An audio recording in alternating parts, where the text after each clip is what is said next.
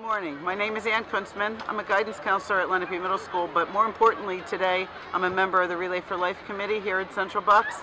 This is the 10th year for the Central Bucks Middle School Relay, and in 10 years, our middle school kids have raised over $2 million. It is a remarkable event. We expect today, I would say, to have over 2,000 kids, maybe more, and we hope to raise another $200,000 today. Um, for the American Cancer Society, it is a day-long event. Kids form teams, they raise money, they come out, they have a good time, but more importantly, they're supporting a wonderful cause, and the American Cancer Society has benefited from the effort of all these kids for 10 years now. We're very proud of the students in Central Bucks. Hi, my name is Sarah Donnelly, and I'm 14 years old, and I go to Tohickon Middle School.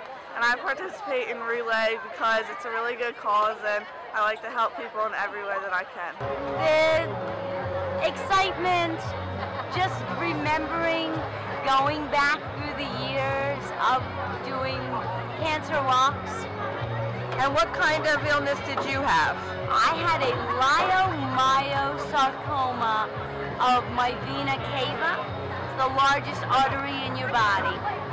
And does the walk help you sort of feel inspired and inspire yes. The walk really helps you feel inspired.